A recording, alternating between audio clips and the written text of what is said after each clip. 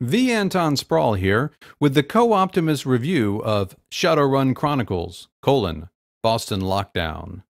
Right off the bat, I have to say that subtitles on games make me a little sad, because you know the game makers are hoping to launch a franchise that's probably never going to happen. I'm old enough to remember a little movie called Remo Williams, The Adventure Begins, which could have just as accurately been called Remo Williams, The Adventure Ends. And then there's the strange fact that here in 2016, the ESPN website is still officially a part of Disney's Go.com portal. Disney, take your own advice and let it go. I'm reviewing this game primarily as a co op title. The game can be played by up to four players eventually, which I'll explain in a minute. So, what is Shadowrun Chronicles, colon, Boston Lockdown? If you've played games like XCOM or Jagged Alliance, Shadowrun is based on that kind of turn-based tactical action. The world of Shadowrun is like a mashup of Tolkien fantasy and cyberpunk, so you end up with dwarves and elves escaping a dystopian future by jacking into the Matrix. Other Shadowrun games have been more firmly in the RPG camp, but this game has just light RPG elements. Basically, you've got a talent tree and gear progression, and other than that, you're marching through a series of combat-heavy main missions with a few side missions. There's a story that ties it all together, but there's no open world or exploration or dialogue trees or anything like that.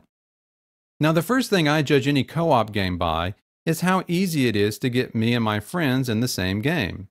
The worst game I ever played in this respect was probably Warface, which is sad because the game was made to promote GFace, a social gaming platform, so you would think it would have been a priority to make it easy to get everyone together. Anyway, SC colon BL gets a middling grade on the ease of co-op. In theory, all you have to do is bring up your list of friends and invite them to your party. The problem is, sometimes people don't show up as online even though they are. One workaround I discovered is to have the supposedly missing friend say something in the global chat, then you can right click that name in the chat window and invite from there. But if that doesn't work, the supposedly missing person just has to leave the game and come back and keep doing that until they show up for the party leader. The main gameplay itself is quite fun. If you've ever played something like XCOM and thought, wow, it would be fun to play this with friends as my squad mates, you're likely to enjoy this.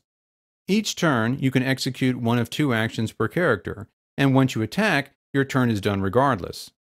All the good guy actions happen first, then the bad guys move, and so on. But there's no set ordering of actions among you and your team. Anyone with an action left can act at any time, which creates some good possibilities for strategic teamwork.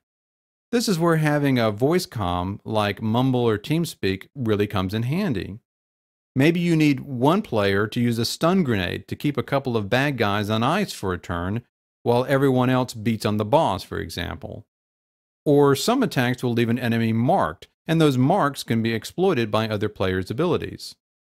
These synergies extend to the character customization, which occurs in between missions in this colorful back alley. Missions award karma points that are spent on abilities in various talent trees. The first two trees are sort of generic and aid damage and survivability, and also provide additional ways to loot during the missions. All the other trees are based upon certain gear, so the pistol skills are only useful when you're carrying a pistol, and rigging allows you to summon drones to fight with your team, but only if you are carrying a remote control. You can only carry two pieces of offensive gear into each mission, and they can't be changed during a mission, so if you're regularly playing with the same group of friends, it makes sense to specialize in different trees to cover the most bases.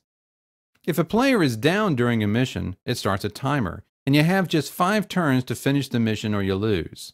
In some missions, you'll be escorting the usual dead weight NPCs, and if one of those guys goes down, the mission is immediately lost.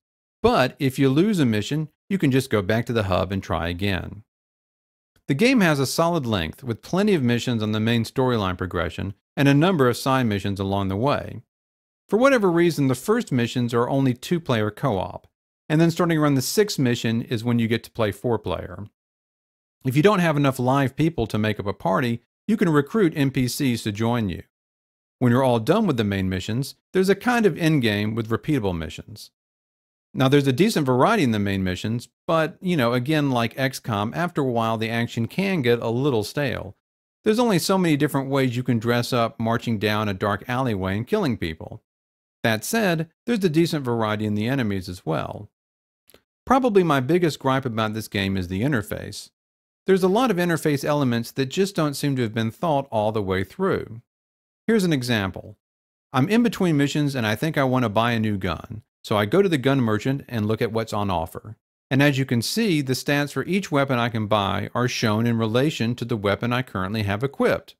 The problem is, it's comparing against my primary weapon, which in this case is my katana. My gun is my secondary weapon. And there's no easy way to switch those slots. I have to manually equip something else in the slot with the gun to get the gun back in my inventory, and then I can swap it for the katana and then go back into the shop. And when I'm done, I have to do all of that in reverse. And when you're on a mission, it's easy to forget which weapon you used last. And you wind up shooting a guy that you just ran up to so that you could cut him with your sword. And that puts you in the habit of clicking on the weapon you want to use before you use it, which is fine, except that if you have a gun active and you click on it, you'll reload the weapon and waste your turn. So the interface can be a pain. And some people complain about the voice acting in this game, and, and I admit the cheesy fake Boston accents can be very painful to listen to. But look, I played the first Resident Evil, and compared to that, this game is a Broadway production. So what's the bottom line on Chakran, Bosslock? My gaming group, who have been playing online games together since the days of the original Baldur's Gate, wanted a co-op experience that would give us a break from frenetic action games that tax our limited set of skills. Not to mention any by name. And that's what this does. It's fun in the way that tabletop gaming is fun, where there's pressure to get things right, but you can still relax. And the missions are short enough that when you screw up, you haven't wasted half an evening for nothing. On that basis, I recommend Scribble for fans of turn based combat who want some co op fun, as long as you understand that it's all about these missions and you're not getting some sort of co op RPG. Now, I haven't played any pickup games with a host of rando Calrissians, so I don't know how that would go. I also don't know that this has the same appeal to me as a single player game, so if you're intending to fly solo, I would recommend checking out the other games in the Shadowrun universe first.